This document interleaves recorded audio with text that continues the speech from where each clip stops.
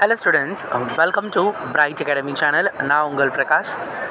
ரொம்பவே ஒரு இம்பார்ட்டண்டான அப்டேட் என்ன அப்படின்னா ஹாஃப் இயர்லி எக்ஸாம் எப்போ நம்ம எதிர்பார்த்துட்டே இருந்தோம்?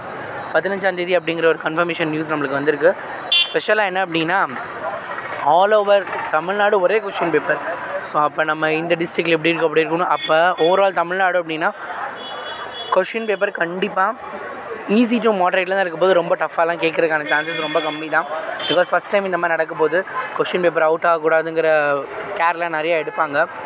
ஸோ பதினஞ்சாந்தேதி எக்ஸாம் அப்படின்னு இருந்துச்சு. நம்மக்கிட்ட இன்னும் கையில் பார்த்திங்க அப்படின்னா டிசம்பர் மந்தில் ஒரு ஃபோர்டீன் டேஸும் இந்த மந்தில் இன்னும் ஒரு த்ரீ டேஸும் இருக்குது கிட்டத்தட்ட ஒரு பதினேழு நாள் இருக்குது நம்ம சூப்பராக நிறைய டைம் டேபிள் போட்டிருக்கோம். அதுக்கு அடுத்து நம்ம பிளான் பண்ணது எல்லாத்தையுமே நம்ம எக்ஸிக்யூட் பண்ண போகிறோம் நீங்களும் எங்கேயும் மனசு தளர்ந்து போயிடாதீங்க.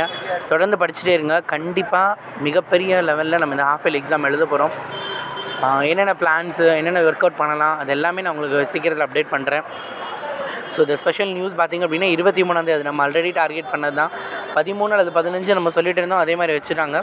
ஸோ எல்லாத்துக்குமே எக்ஸாம் பார்த்துக்கோங்க நம்மளுக்கு டென் டுவெல்த்துக்கு காலையில் லெவன்த்துக்கு மத்தியானம் அஸ் யூஷுவல் பழையபடி நடக்கிற மாதிரியே கொடுத்துருக்காங்க.